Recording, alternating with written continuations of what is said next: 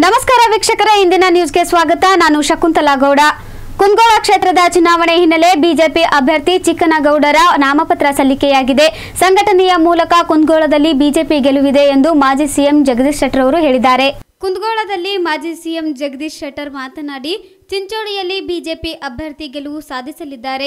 ಇಪ್ಪತ್ಮೂರು ಫಲಿತಾಂಶ ನಂತರ ರಾಜ್ಯ ರಾಜಕಾರಣದಲ್ಲಿ ಭಾರಿ ಬದಲಾವಣೆ ಆಗಲಿದೆ. ರಾಜಕಾರಣ ದಿಕ್ಸೂಚಿ ಆಗಲಿದೆ. ಸಮ್ಮಿಶ್ರ ಸರ್ಕಾರ ಏನೇ ಪ್ರಯತ್ನ ಮಾಡಲಿ, ನಮ್ಮ ಕಾರ್ಯಕರ್ತರ ಮತಗಟ್ಟೆಯ ಪೇಜ್ನಲ್ಲಿದ್ದಾರೆ. ಡಿಕೆ ಶಿವಕುಮಾರ್ ಸೇರಿ ನೂರು ಜನ ಬಂದರೂ ಬಿಜೆಪಿ ಗೆಲುವು ಖಚಿತ. ಮೈತ್ರಿ ಸರ್ಕಾರದ ಪತನಕ್ಕೆ ದೇವೇಗೌಡ ಸಿದ್ದರಾಮಯ್ಯ ಹೇಳಿಕೆಗೆ ಸಾಕ್ಷಿ. ಮೈತ್ರಿ ಸರ್ಕಾರ ಪತನ ಆದರೆ ಅದರ ಲಾಭ ಪಡೆಯುತ್ತೇವೆ. ಅಧಿಕಾರ ಹಣ ಬಲ ಚುನಾವಣೆ ಕೆಲಸ ಮಾಡಲ್ಲ ಎಂದು ಹೇಳಿದರು. ಭಾರತೀಯ ಜನತಾ ಪಾರ್ಟಿಯ ಸ್ಟ್ರಾಂಗ್ಹೋಲ್ಡ್ ಕುಂದಗೋಳ ಇಲ್ಲಿ ಚಿಕ್ಕಮಗಳೂರು ಹಿಂದೆ ಎರಡ್ ಸಾವಿರದ ಎಂಟರಲ್ಲಿ ಅಸೆಂಬ್ಲಿಗೆ ಆರಿಸಿ ಬಂದಿದ್ರು ಕಳೆದ ಬಾರಿ ಚುನಾವಣೆಯಲ್ಲಿ ಅಲ್ಪಮತಗಳ ಅಂತರಿಂದ ನಾವು ಸೋತಿದ್ವಿ.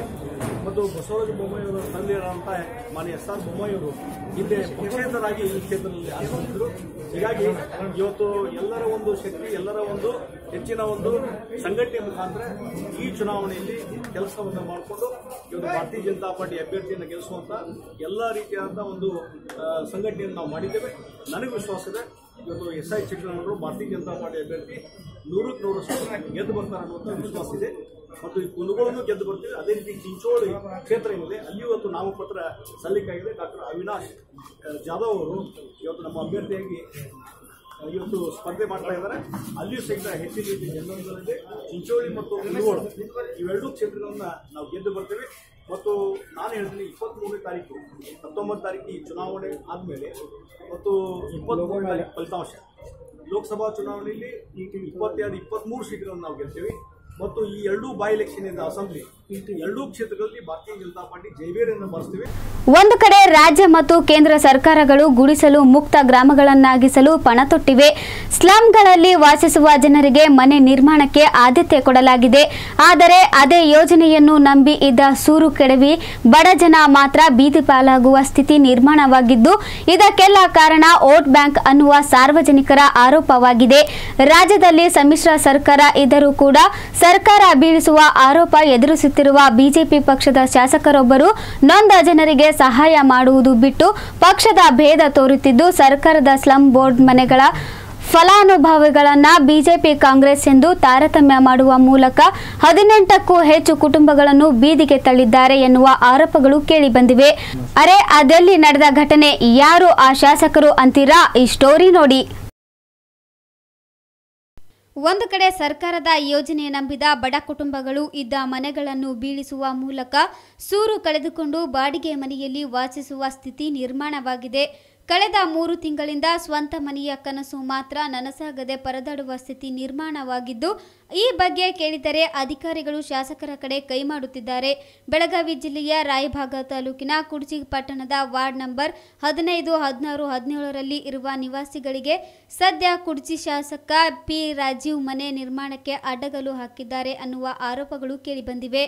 ಇನ್ನು ಕುಡ್ಚಿ ಎಂಎಲ್ಎ ಪಿ ರಾಜೀವ್ ಮಾತು ಕೇಳಿ ಅಧಿಕಾರಿಗಳು ತಟಸ್ಥವಾಗಿ ಉಳಿದಿದ್ದು ಸದ್ಯ ಹಲವು ಕುಟುಂಬಗಳು ಮನೆ ನಿರ್ಮಿಸಲಾಗದೆ ಸಂಕಷ್ಟಕ್ಕೆ ಸಿಲುಕುವಂತಾಗಿದೆ.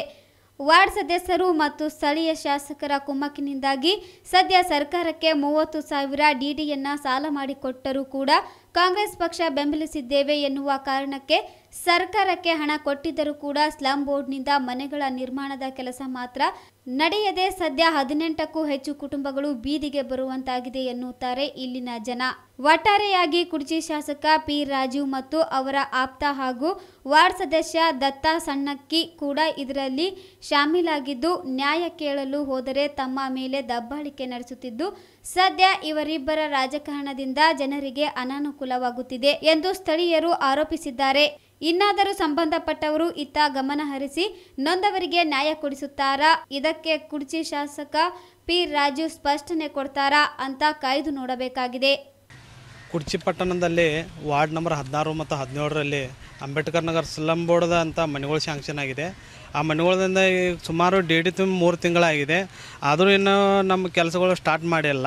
ಮತ್ತು ನಮ್ಮ ಜೊತೆ ಬಿ ಜೆ ಪಿ ಪಾರ್ಟಿಯವರು ತುಂಬಿದವರು, ಅವರು ಕೆಲಸಗಳ ಎರಡು, ಮೂರು ದಿನ, ಎಂಟು ದಿವಸ ಆದ್ಮೇಲೆ ಕೆಲಸ ಸ್ಟಾರ್ಟ್ ಮಾಡಿದರು.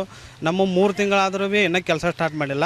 ಅದಕ್ಕೆ ಸಂಬಂಧಪಟ್ಟ ಆಫೀಸರ್ಸ್ ಆಗಲಿ, ಮತ್ತು ಇಲ್ಲಿ ಲೋಕಲ್ ಮೆಂಬರ್ ಆಗಲಿ, ಅದಕ್ಕೆ ಸಂಬಂಧಪಟ್ಟ ಶಾಸಕರಾಗ ಅವ್ರ ಕೇಳಂತಲೇ ಆಫೀಸರ್ಗಳಿಂದ ಕೇಳಂತಲೆ ಏನನ್ನತ್ತಾರು ಇಲ್ಲ ನಿಮ್ಮ ವಾರ್ಡ್ ಮೆಂಬರ್ ಕೇಳ್ರಿ, ಮತ್ತು ಲೋಕಲ್ ಶಾಸಕ ನಿಮ್ಮ ಮನೆಗಳ ಪೆಂಡಿಂಗ್ ಇಡಂತ ಹೇಳಿದಾರು. ಯಾಕೆ ಇಡಂತ ಹೇಳಿದಾರ, ಆಫೀಸರ್ ಕೇಳಂತಲೇ ಅವ್ರು ಏನಂತಾರಂದ್ರೆ ಏ, ಇಲ್ಲ ನೀವು ಕಾಂಗ್ರೆಸ್ ಪಾರ್ಟಿ ಮಾಡಿದಿರಿ, ಅದ್ರ ಸಂಬಂಧ ನಿಮ್ಮ ಮನೆಗಳ ಪೆಂಡಿಂಗ್ ಇಡಂತ ಹೇಳಿದಾರು ಅಂತ ಅನ್ನತ್ತಾರೆ ಇದು ಲಮಾನಿ ಸರ್ ರೀ, ಮತ್ತು ಫಣಿರಾಜ್ ಸರ್ ರೀ ಇವರ ಇವರ ಹೇಳಿದಾರೆ ಸರ್. ಬಡರಾಜ್ ಅದಾರ ರೀ, ಬೆಂಗಳೂರದವ್ರಿಗೆ. ಅವ್ರಿಗೆ ಮಾತಾಡಿದ್ದಾರೆ ನಾವು. ಅವ್ರು ಎಲ್ಲರೂ ಇವ್ರದ್ದು ಹೆಸರು ಹೇಳ್ತಾರೆ ರೀ. ಶಾಸಕರದ ರೀ ಮತ್ತು ಲೋಕಲ್ ಮೆಂಬರ್ದ ರೀ. ಅವ್ರು ಅಂತಾರೆ ಅವ್ರು ಕೂಡ ನಾವು ಮಾತಾಡ್ಕೊಂಡು ರೀ ವಿಷಯ ಕ್ಲಿಯರ್ ಮಾಡಿದ್ವಿ ರೀ ಮಾಡಿಸ್ಕೊಡ್ತೀವಿ ರೀ. ಮೂರು ತಿಂಗಳಿದ್ರಿ ಹೇಳ್ತಾ ಅವ್ರ ಅವ್ರು. ಇನ್ನೂ ತಕ ಮಾಡಿಕೊಟ್ಟಿಲ್ಲ ರೀ. ಈಗ ಇಲೆಕ್ಷನ್ಗಿಂತ ಮುಂಚೆ ನಾವು ಫೋನ್ ಮಾಡೋಣ ಏನಂದ್ರೆ ಇಲೆಕ್ಷನ್ ಆಗಲಿ ನಾವು ಮಾಡಿಕೊಡ್ತೀವಿ ಅಂತ ಅಂದ್ರೆ ರೀ. ಈಗ ಇಲೆಕ್ಷನ್ ಮುಗಿದ ಬಳಿಕ ರೀ ಮತ್ತೆ ಫೋನ್ ಹಚ್ಚನ ಫೋನ್ ರಿಸೀವ್ ಮಾಡ್ತಾ ಇಲ್ಲ ಅವ್ರು. ಇವತ್ತು ನಮ್ಮ ಜೊತೆ ಡಿ ಡಿ ತುಂಬಿ ಇರೋದು ರೀ. ಇವತ್ತು ಡಿ ಡಿ ಇಬ್ಬರದ್ದು ತುಂಬಿದ್ರಿ ರೀ. ಅವ್ರದ್ದು ತುಂಬಿದ್ರಿ ನಮ್ಮದು ತುಂಬಿದ್ರಿ ರೀ. ಅವ್ರ ಕೆಲಸ ಸ್ಟಾರ್ಟ್ ರೀ. ನಮ್ಮ ಕೆಲಸ ಸ್ಟಾರ್ಟ್ ಬಂದೈತೆ ರೀ. ಬಿ ಜೆ ಪಿದವ್ರದ್ದು ಅಷ್ಟೇ ರೀ. ಕೆಲಸ ಚಾಲು ಇದೆ ನಮ್ಮ ಕಾಂಗ್ರೆಸ್ ಅವ್ರದ್ದು ಒಟ್ಟು ಬಿಲ್ಕುಲ್ ಕೆಲಸ ಚಾಲು ಇಲ್ಲ ರೀ. ನೀವು ಕಾಂಗ್ರೆಸ್ ಸಪೋರ್ಟ್ ಮಾಡ್ತೀರಿ, ಕಾಂಗ್ರೆಸ್ ಸಪೋರ್ಟ್ ಮಾಡೋರಿಗೆ ನಾವು ಮನಿ ಶಾಂಕ್ಷನ್ ಮಾಡಂಗಿಲ್ಲ. ನಾವು ಏನು ಏನು ಎಂ ಎಲ್ ಎದ ಏನು ತಾಕತ್ತಿತ್ತ ನಾವು ತೋರಿಸ್ಕೊಡ್ತೀವತ್ತ ಹಿಂಗೆ ಮಾತಾಡಿದ್ದಾರೆ ಅವ್ರು. ಲೋಕಸಭಾ ಚುನಾವಣೆಗೆ ನಾಲ್ಕನೇ ಹಂತದ ಮತದಾನ ನಡೆಯುತ್ತಿದೆ. ಚುನಾವಣೆಯಲ್ಲಿ ಹೈಲೈಟ್ ಅಂದ್ರೆ ಸಾಕಷ್ಟು ಸೆಲೆಬ್ರಿಟಿಗಳು ಹಾಗೂ ಕೋಟ್ಯಾಧಿಪತಿ ಉದ್ಯಮಿಗಳು ನೆಲೆಸಿರುವ ಮುಂಬೈ ಕ್ಷೇತ್ರದಲ್ಲಿ ನಿನ್ನೆ ಬೆಳಗ್ಗೆಯಿಂದಲೇ ಬಾಲಿವುಡ್ ಸೆಲೆಬ್ರಿಟಿಗಳು ಹಾಗೂ ಗಣ್ಯರು ನಿನ್ನೆ ಮತದಾನ ಮಾಡಿದ್ದಾರೆ. ಬಾಲಿವುಡ್ ನಟಿ ಮಾಧುರಿ ದೀಕ್ಷಿತ್ ಜೂಹಿ ಮತಗಟ್ಟೆಯಲ್ಲಿ ಇಂದು ಬೆಳಗ್ಗೆ ಮತದಾನ ಮಾಡಿದ್ದಾರೆ. ಹಾಗೆ ನಟ ಅಮೀರ್ ಖಾನ್ ಮತ್ತು ಪತ್ನಿ ಕಿರಣ್ ಬಾಂದ್ರಾದಲ್ಲಿ ವೋಟ್ ಮಾಡಿದ್ದಾರೆ. ಕಾಂಗ್ರೆಸ್ ಸಂಸದೆ ಮುಂಬೈ ಉತ್ತರ ಕ್ಷೇತ್ರದ ಅಭ್ಯರ್ಥಿ ಊರ್ಮಿಳಾ ಮಾತೋಂಡ್ಕರ್ ಬಾಂದ್ರಾದಲ್ಲಿ ಮತ ಹಾಕಿದ್ದಾರೆ. ಹಾಗೆಯೇ ಎನ್ಸಿಪಿ ಮುಖ್ಯಸ್ಥ ಶರದ್ ಪವಾರ್ ಟಾಡಿಯೋದಲ್ಲಿ ಮತ ಚಲಾಯಿಸಿದ್ದಾರೆ. ಜೊತೆಗೆ ಆರ್ಬಿಐ ಗವರ್ನರ್ ಶಕ್ತಿಕಾಂತ್ ದಾಸ್ ಪೆಡ್ಡರಾ ರೋಡ್ನ ಬೂತ್ನಲ್ಲಿ ತಮ್ಮ ಹಕ್ಕನ್ನು ಚಲಾಯಿಸಿದ್ದಾರೆ. ಇನ್ನು ಪ್ರಿಯಾಂಕಾ ಚೋಪ್ರಾ ಕೂಡ ವೋಟ್ ಮಾಡಿ ಫೋಟೋ ಹಂಚಿಕೊಂಡಿದ್ದಾರೆ.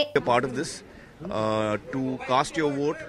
So uh, both Kiran and I are here to do that today, and we've just done that. We've finished voting. To so both of you, what is that one thing that one should keep in mind before The voter voting? turnout in Mumbai is very low. Well, it's just still morning, so I think uh, that uh, जैसे जैसे दिन बढ़ेगा I am sure कि ज़्यादा लोग बाहर निकलेंगे voting के लिए और ये बहुत ही ज़रूरी है कि हम सब uh, इस दिन जो है इस uh, दुनिया का जो सबसे बड़ा लोकतंत्र है उसका हम एक हिस्सा हैं and it's a very proud and happy day for all of us today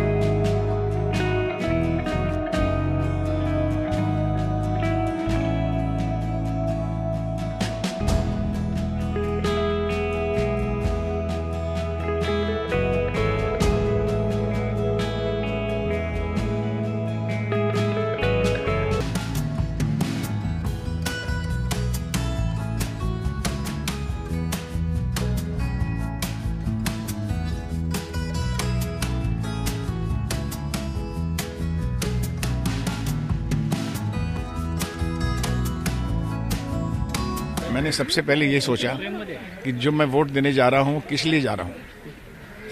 क्या मैं अपने मोहल्ले के लिए जा रहा हूँ, शहर के लिए जा रहा हूँ, जाति के लिए जा रहा हूँ, धर्म के लिए जा रहा हूँ, या मैं स्टेट के लिए जा रहा हूँ? मैं जा रहा हूँ अपने देश के लिए। तो ये पूरे संपूर्ण भारत को आगे कौन लेके जाएगा? विश्व में अपना नाम कौन कमाएगा? निस्वार्थ भाव से कौन आदमी है? जिसके पास कोई अपना स्वार्थ नहीं वो हमारा नेता होना चाहिए गलत ಪಂಜಾಬ್ನ ಗುರುದಾಸ್ಪುರದ ಸಂಸತ್ ಕ್ಷೇತ್ರದಿಂದ ಸೋಮವಾರ ಬಿಜೆಪಿ ಅಭ್ಯರ್ಥಿಯಾಗಿದ್ದ ಸನ್ನಿ ಡಿಯೋಲ್ ನಾಮಪತ್ರ ಸಲ್ಲಿಸಿದ್ದಾರೆ ನಾಮಪತ್ರ ಸಲ್ಲಿಸುವ ವೇಳೆ ಅವರು ತಮ್ಮ ಸಹೋದರ ಬಾಬಿ ಡಿಯೋಲ್ ಅವರ ಜೊತೆಗೂಡಿದರು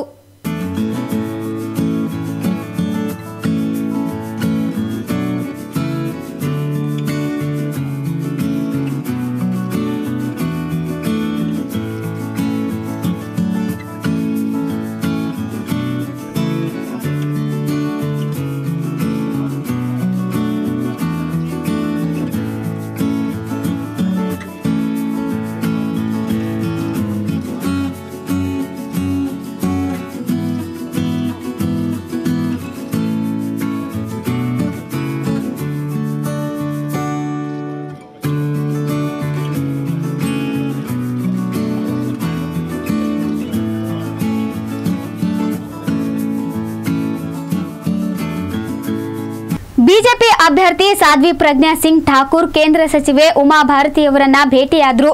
ಹೊರಡುವ ವೇಳೆ ಪ್ರಜ್ಞಾ, ಉಮಾ ಭಾರತಿ ಅವರ ಮುಂದೆ ಕಣ್ಣೀರಿಟ್ಟರು. ಭೂಪಾಲ್ ಕ್ಷೇತ್ರದಿಂದ ಸ್ಪರ್ಧಿಸಿರುವ ಪ್ರಜ್ಞಾ, ಚುನಾವಣಾ ಪ್ರಚಾರಕ್ಕೆ ಚಾಲನೆ ನೀಡೋ ಮುನ್ನ ಉಮಾ ಭಾರತಿಯನ್ನ ಭೇಟಿಯಾಗಲು ಅವರ ನಿವಾಸಕ್ಕೆ ಬಂದಿದ್ದರು. ಭೇಟಿ ನಂತರ ಪ್ರಜ್ಞಾರನ್ನ ಬೀಳ್ಕೊಡಲು ಉಮಾ ಭಾರತಿ ಕಾರು ತನಕ ಬಂದರು. ಈ ವೇಳೆ ಪ್ರಜ್ಞಾ ಭಾವುಕರಾಗಿ ಕಣ್ಣೀರಿಟ್ಟರು. ಚುನಾವಣೆಯಲ್ಲಿ ಪ್ರಜ್ಞಾ ಅವರ ಪರ ಪ್ರಚಾರಕ್ಕೆ ಬರುವುದಾಗಿ ಉಮಾ ಭಾರತಿ ಇದೇ ವೇಳೆ ಭರವಸೆ ನೀಡಿದ್ರು. ಈ ಬಗ್ಗೆ ಮಾತನಾಡಿದ ಉಮಾ ಭಾರತಿ, ಇದೊಂದು ಭಾವನಾತ್ಮಕ ಕ್ಷಣ ಎಂದು ಹೇಳಿದರು. ಇತ್ತೀಚಿನವರೆಗೂ ಸಾಧ್ವಿ ಪ್ರಜ್ಞಾ ಹಾಗೂ ಉಮಾ ಭಾರತಿ ನಡುವೆ ವೈಮನಸ್ಸಿದೆ ಎಂದು ಹೇಳಲಾಗಿತ್ತು. ಸಾಧ್ವಿ ಪ್ರಜ್ಞಾ ಜೊತೆ ನನ್ನನ್ನ ಹೋಲಿಕೆ ಮಾಡಬೇಡಿ ಎಂದು ಉಮಾ ಭಾರತಿ ಇತ್ತೀಚೆಗೆ ಹೇಳಿದ್ದರು ಮಧ್ಯಪ್ರದೇಶ ರಾಜಕಾರಣದಲ್ಲಿ ಸಾಧ್ವಿ ಪ್ರಜ್ಞಾ ನಿಮ್ಮ ಸ್ಥಾನವನ್ನ ತುಂಬುತ್ತಾರೆ ಎಂದು ಪ್ರಶ್ನಿಸಿದಾಗ, ಅವರು ಒಬ್ಬ ಮಹಾನ್ ಸಾಧ್ವಿ. ನನ್ನನ್ನು ಅವರೊಂದಿಗೆ ಹೋಲಿಸಬೇಡಿ. ನಾನು ಕೇವಲ ಒಬ್ಬ ಸಾಮಾನ್ಯ ಹಾಗೂ ಮೂರ್ಖ ಜೀವಿ ಎಂದು ಉಮಾ ಭಾರತಿ ಹೇಳಿಕೆ ನೀಡಿದರು. ಪ್ರತಿ ವರ್ಷದಂತೆ ಈ ವರ್ಷವೂ ಸಹ ಚೈತ್ರ ಮಾಸ ತಿಂಗಳಲ್ಲಿ ಸರ್ಕಾರ ವಾಡದಲ್ಲಿ ನಡೆಯುವ ಜಾತ್ರಾ ಹಾಗೂ ದೇವರುಗಳನ್ನು ಬರಮಾಡಿಕೊಳ್ಳಲಾಯಿತು. ಶ್ರೀ ರೇಣುಕಾ ಯಲ್ಲಮ್ಮದೇವಿ ಸೌದತ್ತಿಗೆ ಸರ್ಕಾರದ ಜಗಲಿ ಹೋಗಿ ಬಂದು ನಂತರ ಶ್ರೀ ಜ್ಯೋತಿಬಾ ದೇವರ ಮಾನದ ಸಾಸನ್ ಕಟ್ಟಿಗೆ ಜ್ಯೋತಿಬಾಗೆ ಹೋಗಿ ಬರುತ್ತದೆ. ಅದೇ ರೀತಿ ಶ್ರೀ ಮಹಾದೇವಿ ಕಾವಡ್ ಶ್ರೀಶಲ್ಗೆ ಹೋಗಿ ನಿಪ್ಪಾಣಿ ವಾಡಕ್ಕೆ ಬರುತ್ತೆ.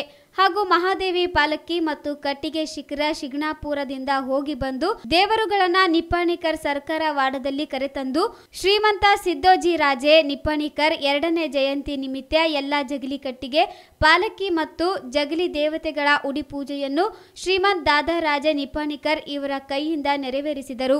ಮೆರವಣಿಗೆ ಮುಖಾಂತರ ಪಾಲಕಿ ಕಟ್ಟಿಗೆ ಜಗಲಿ ತಂದ ಭಕ್ತರಿಗೆ ಮಹಾಪ್ರಸಾದ ಮಾಡಲಾಯಿತು. ಈ ಕಾರ್ಯಕ್ರಮದಲ್ಲಿ ಶ್ರೀಮಂತ್ ವಿಜಯರಾಜೆ, ಯುವರಾಜ್ ಸಿದ್ದೋಜಿ ರಾಜೆ ಶರದ್ ರಾಜೆ ಶಿವಮ್ಮ ರಾಜೆ ಹಾಗೂ ಮಂದಿರದ ಪೂಜಾರಿಗಳು ಭಕ್ತರು ಸಾರ್ವಜನಿಕರು ಉಪಸ್ಥಿತರಿದ್ದರು.